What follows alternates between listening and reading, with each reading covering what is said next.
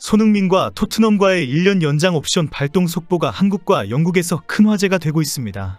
토트넘의 속셈에 대한 비판부터 시작해서 손흥민 측이 거부했다는 소식까지 들려오고 있습니다. 토트넘의 1년 연장 옵션 발동으로 손흥민과 토트넘의 이별이 기정사실화되고 있습니다. 양측의 공식 발표가 없기 때문에 토트넘 내부에서 흘러나오는 무성한 소식이 계속 보도되고 있습니다. 일부 매체에서는 손흥민도 동의했다라고 전했지만 구단의 일방적인 통보였다고 합니다. 한국에서 이게 레전드 대우인가? 케인에게는 쩔쩔매더니 손흥민에게는 치욕적인 간보기를 하느냐라는 지적까지 쏟아졌습니다. 이런 와중에 토트넘 클럽 내부 소식을 전하는 사이트에서는 새로운 장기 재계약을 위한 과정이다라는 해명이 흘러나오고 있습니다. 일각에서는 토트넘과 손흥민은 협상에 합의하지 못했다는 주장도 나오고 있습니다. 토트넘이 재계약에 대한 기간과 연봉에 대해 제시를 했지만 손흥민이 그 제안을 받아들이지 않았다는 것입니다.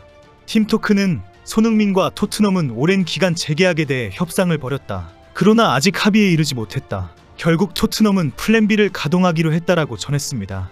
영국 매체 풋볼 인사이더는 토트넘의 계획이라며 토트넘은 일단 재계약 협상 과정에서 유리한 고지를 점했다. 이후 협상을 계속하면서 상황을 지켜보면서 2025년에 손흥민을 떠나 보낸다는 계획이다라고 주장했습니다. 스퍼스웹이 보도한 1년 연장 옵션 발동 후 재계약을 체결할 것이라는 주장도 같은 맥락입니다. 스퍼스웹은 토트넘과 손흥민 간의 1년 연장 계약은 전략적인 의미가 있다. 추가로 1년을 확보한 이후 장기 재계약 초석을 다지기 위함이다. 토트넘에서 손흥민 영향력과 입지를 생각했을 때 새로운 계약으로 묶는 건 필수적이다라고 보도했습니다. 손흥민과의 재계약 협상에 시간이 필요하기 때문에 일단 옵션을 발동한 것뿐이라는 설명입니다. 2025년 여름까지 충분히 재계약을 협상할 수 있는 시간이 필요했다는 변명입니다. 당장 그동안 뭐하고 있다가 이제 와서 그딴 핑계를 대느냐라는 비판이 쏟아지고 있습니다. 이런 비난에도 불구하고 악마 협상가 랩이 치졸한 장사꾼이라는 비난을 기꺼이 받아들이는 랩입니다. 손흥민의 1년 연장 옵션 발동과 내년 여름 대박 이적료 장사를 계획하고 있다고 의심을 받고 있습니다. 해리케인의 미넨 이적 과정을 잘 알고 있는 유럽 축구 매체들과 축구 팬들은 레비는 손흥민에게 더 모욕적인 흥정과 이적을 하고도 남는다는 지적을 받고 있습니다. 급기야 2025년 토트넘의 잔혹한 매각이 발생할 수 있다는 전망까지 나오고 있습니다. 영국 매체 팀토크는 이를 토트넘은 손흥민과 재계약 옵션을 발동할 것이다라며 하지만 2025년에 잔혹한 매각이 발생할 수 있다. 토트넘은 손흥민과 2026년까지 동행할 수 있지만 한 보고서에 따르면 2025년에는 엄청난 매각 제한을 받을 가능성이 있다라고 보도했습니다. 매체는 손흥민의 기량을 프리미어리그 최고 수준이라고 인정했습니다. 한국인 슈퍼스타 손흥민은 2023-24 시즌 프리미어리그에서 17골을 넣었다. 다음 주에 만 32세가 되지만 아직 주춤할 기미는 보이지 않는다라고 평가했습니다. 결국 내년 여름에 여전히 사우디 리그의 영입 제한을 받을 가능성이 높으며 레비 회장은 이 기회를 적극 활용할 것이라고 예상했습니다. 영국 풋볼 인사이더는 손흥민이 토트넘과 1년 연장 계약 옵션에 동의할 것이다. 토트넘은 손흥민을 일단 2026년까지 잡아놓고 장기 계획을 세울 수 있게 됐다고 전했습니다. 이어 토트넘은 내년 여름 손흥민을 큰 이적료로 팔거나 혹은 재계약을 맺을 수 있는 선택권을 갖게 됐다고 설명했습니다. 매체는 손흥민이 다음 시즌 뛰어난 활약을 펼치더라도 레비는 손흥민을 매각할 것이다. 레비는 엄청난 이적료를 챙길 수 있는 기회를 반길 것이다 라고 보도했습니다. 이는 평소 유럽 축구계에서 짠돌이, 돈벌레 등으로 악명 높은 별명을 즐겁게 받아들이는 레비의 행태를 미루어 보면 충분히 가능한 전망입니다. 현재 토트넘 입장에서는 옵션 실행으로 손해볼 일이 하나도 없는 상황입니다. 다음 시즌을 보낸 뒤에 손흥민이 더 필요하면 그때 계약을 연장하면 되기 때문입니다. 결국 손흥민은 다음 시즌에도 자신의 경기력을 확실히 보여주어야 하는 처지가 되었습니다. 프로 선수이기 때문에 당연하다는 지적도 있지만 많은 클럽은 레전드에게 이런 대우를 하지 않습니다. 그동안 클럽에 기여한 공로를 인정해서 장기 계약으로 확실한 입지를 보장해줘서 운동에만 전념하도록 예우합니다. 그러나 짠돌이로 유명한 레비 회장의 토트넘은 이런 결정을 한 적이 전혀 없습니다. 한국에서는 손흥민도 그냥 있으면 안 된다는 주장도 있습니다.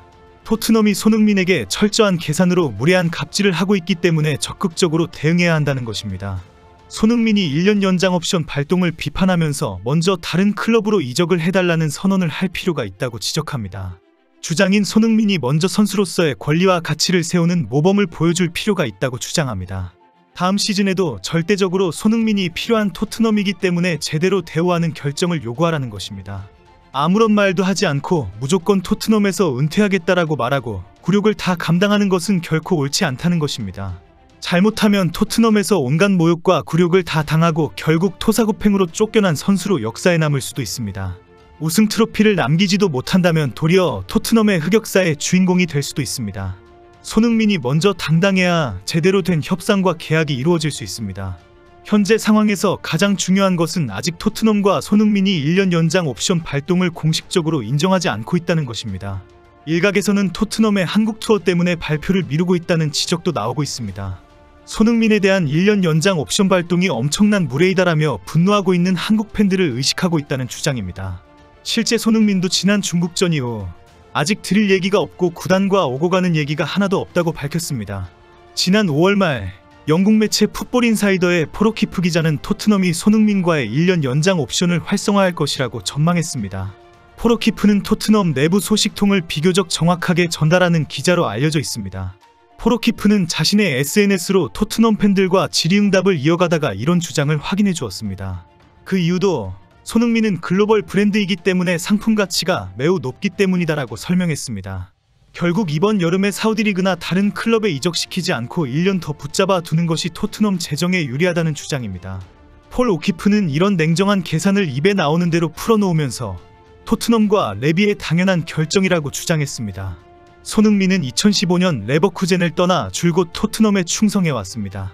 손흥민이 세운 역사가 줄줄이 쏟아질 정도로 많은 기록을 남겼습니다. 2018-19 시즌에는 토트넘을 이끌고 유럽 축구 연맹 챔피언스리그 결승에 오르기도 했습니다. 이어서 2020년에는 피파 푸스카스상을 받았으며 2021-22 시즌에는 모하메드 살라와 함께 프리미어리그 공동 득점왕에 올랐습니다. 이번 시즌에는 포스텍 감독의 선택을 받아 주장 완장을 착용했고 최전방과 측면을 오가며 17골 10도움을 기록했습니다. 이런 엄청난 기록을 세우면서도 리그 연봉 순위 30위에도 들어가지 못할 정도로 대우를 받지 못했습니다.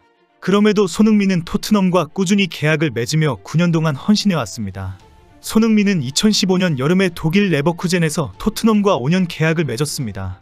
그리고 3년 만인 2018년에 기존 계약을 파기하고 2023년 6월까지 또 5년 계약을 했습니다. 그리고 또 3년 만인 2021년 여름에 기존 계약을 파기하고 연봉을 180억 원으로 올린 후 2025년 여름까지 토트넘과 세 번째 계약서에 사인했습니다. 다음 시즌 제대로 대우도 받지 못하면서 죽자고 뛰어다니고 결국 여름에 토트넘에서 쫓겨난다면 한국 팬들에게는 엄청난 충격을 안겨주게 될 것입니다. 한국 팬들의 자존심을 위해서라도 손흥민은 당당해져야 합니다. 토트넘에서 10년 뛰고 조금 더 특별하게 인정받는 것이 축구선수 손흥민의 인생 목표이면 안 됩니다.